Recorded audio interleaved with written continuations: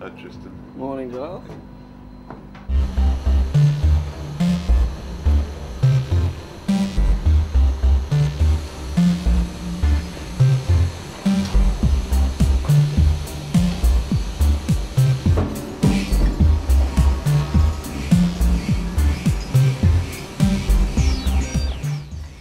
Two trawls were undertaken on this voyage, one at 30 metres and the other at 70. Both brought up many different species, including stingrays, flathead, sharks and spider crabs. This showed students some of the hazards of a working stern deck.